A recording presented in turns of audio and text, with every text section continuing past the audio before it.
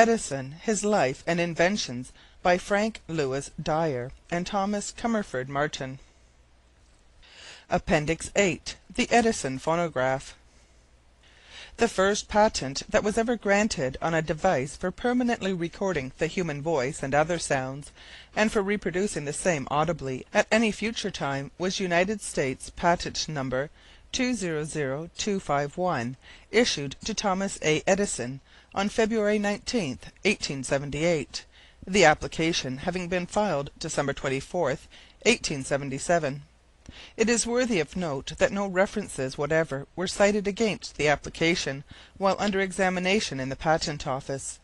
This invention therefore marked the very beginning of an entirely new art, which, with the new industries attendant upon its development, has since grown to occupy a position of world wide reputation. That the invention was of a truly fundamental character is also evident from the fact that although all talking machines of to day differ very widely in refinement from the first crude but successful phonograph of Edison, their performance is absolutely dependent upon the employment of the principles stated by him in his patent No. 200251. Quoting from the specification attached to this patent, we find that Edison said: "The invention consists in arranging a plate, diaphragm, or other flexible body capable of being vibrated by the human voice or other sounds, in conjunction with a material capable of registering the movements of such vibrating body by embossing or indenting or altering such material in such a manner that such register marks will be sufficient to cause a second vibrating plate or body to be set in motion by them, and thus reproduce the motions of the first vibrating body." It will be at once obvious that these words describe perfectly the basic principle of every modern phonograph or other talking machine, irrespective of its manufacture or trade name. Edison's first model of the phonograph is shown in the following illustration. It consisted of a metallic cylinder having a helical indenting groove cut upon it from end to end. This cylinder was mounted on a shaft supported on two standards. This shaft at one end was fitted with a handle by means of which the cylinder was rotated. There were two diaphragms, one on each side of the cylinder, one for being recorded and the other for reproducing speech or other sounds. Each diaphragm had attached to it a needle. By means of the needle attached to the recording diaphragm, indentations were made in a sheet of tin foil stretched over the peripheral surface of the cylinder when the diaphragm was vibrated by reason of speech or other sounds. The needle on the other diaphragm subsequently followed these indentations, thus reproducing the original sounds.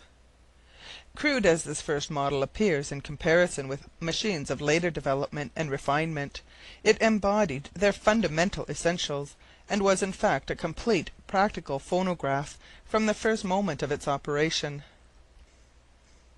The next step toward the evolution of the improved phonograph of to day was another form of tinfoil machine as seen in the illustration. It will be noted that this was merely an elaborate form of the first model and embodied several mechanical modifications, among which was the employment of only one diaphragm for recording and reproducing. Such was the general type of phonograph used for exhibition purposes in America and other countries in the three or four years immediately succeeding the date of this invention. In operating the machine the recording diaphragm was advanced nearly to the cylinder, so that, as the diaphragm was vibrated by the voice, the needle would prick or indent a wave like record in the tin foil that was on the cylinder. The cylinder was constantly turned during the recording, and in turning was simultaneously moved forward. Thus the record would be formed on the tinfoil in a continuous spiral line. To reproduce this record it was only necessary to again start at the beginning and cause the needle to retrace its path in the spiral line. The needle, in passing rapidly in contact with the recorded waves, was vibrated up and down, causing corresponding vibrations of the diaphragm. In this way sound waves similar to those caused by the original sounds would be set up in the air, thus reproducing the original speech. The modern phonograph operates in a precisely similar way. the only difference being details of refinement. Instead of tin foil, a wax cylinder is employed, the record being cut thereon by a cutting tool attached to a diaphragm, while the reproduction is effected by means of a blunt stylus similarly attached. The cutting tool and stylus are devices made of sapphire, a gem next in hardness to a diamond, and they have to be cut and formed to an exact nicety by means of diamond dust most of the work being performed under high powered microscopes. The minute proportions of these devices will be apparent by a glance at the accompanying illustrations in which the object on the left represents a common pin, and the object on the right the cutting tool and reproducing stylus, all actual sizes. In the next illustration (Fig. 4) there is shown in the upper sketch, greatly magnified, the cutting or recording tool in the act of forming the record, being vibrated rapidly by the diaphragm, and in the lower sketch, similarly enlarged, a representation of the stylus travelling over the record thus made, in the act of effecting a reproduction. From the late summer of 1878 and to the fall of 1887, Edison was intensely busy on the electric light, electric railway and other problems, and virtually gave no attention to the phonograph. Hence, just prior to the latter named period, the instrument was still in its tinfoil age. But he then began to devote serious attention to the development of an improved type that should be of greater commercial importance. The practical results are too well known to call for further comment. That his efforts were not limited in extent may be inferred from the fact that since the fall of 1887 to the present writing he has been granted in the United States one hundred and four patents relating to the phonograph and its accessories.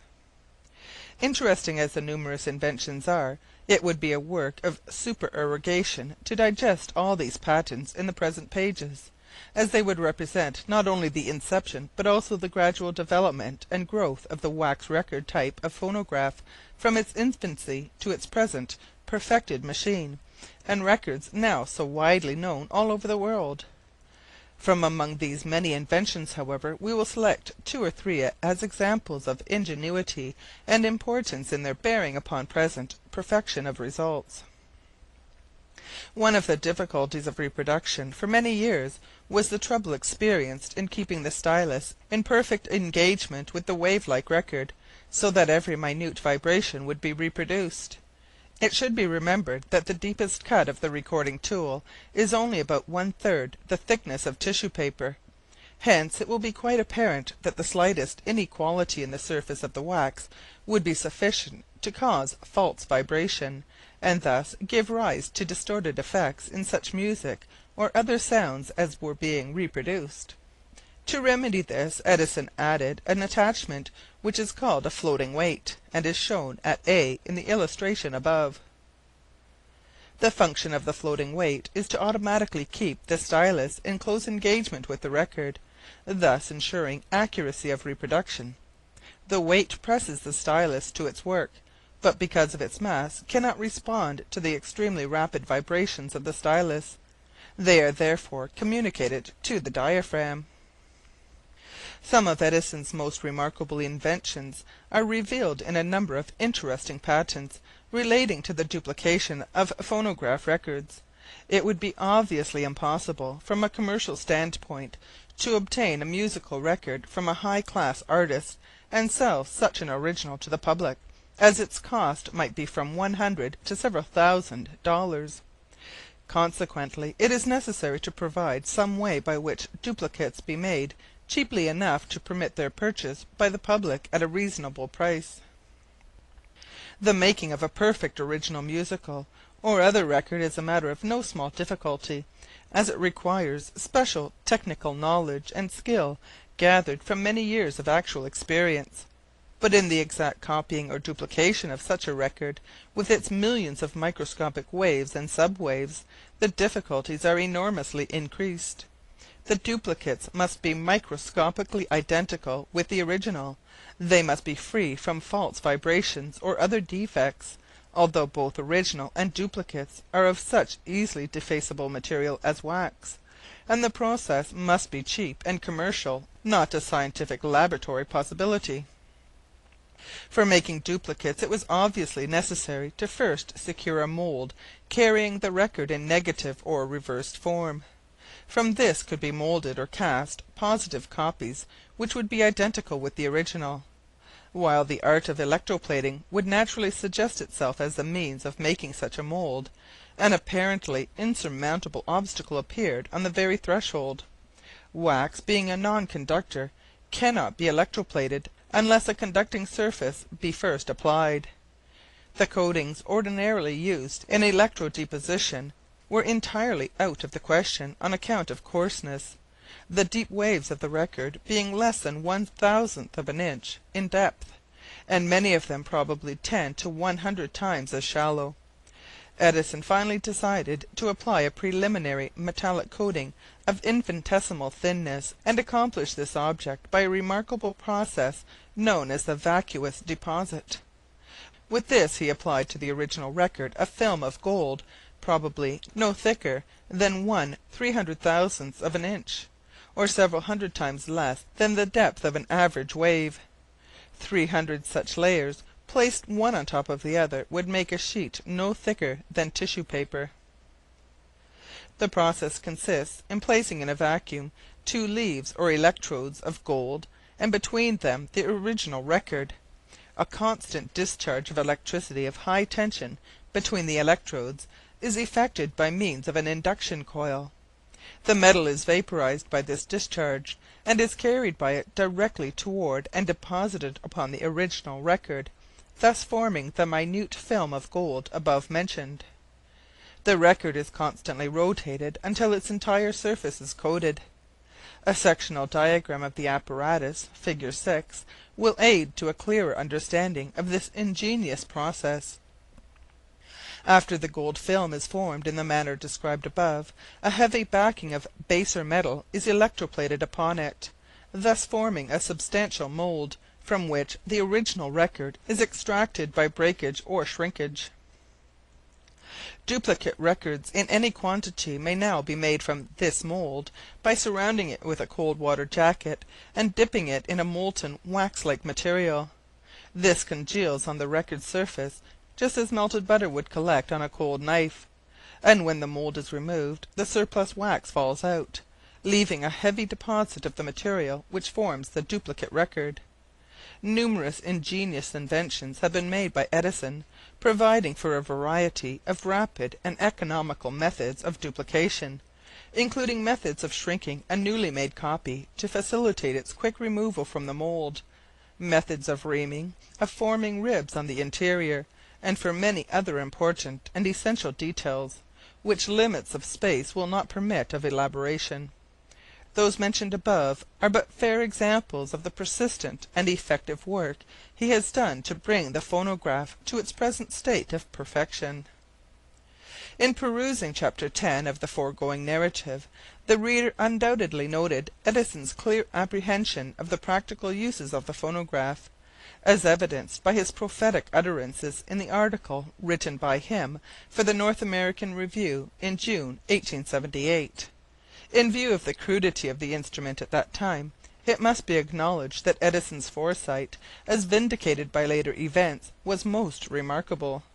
No less remarkable was his intensely practical grasp of mechanical possibilities of future types of the machine, for we find in one of his early patents (No. 1644 of 1878) the disc form of phonograph, which, some ten to fifteen years later, was supposed to be a new development in the art. This disc form was also covered by Edison's application for a United States patent filed in 1879. This application met with some merely minor technical objections in the Patent Office, and seems to have passed into the abandoned class for want of prosecution probably because of being overlooked in the tremendous pressure arising from his development of his electric lighting system. End of Appendix 8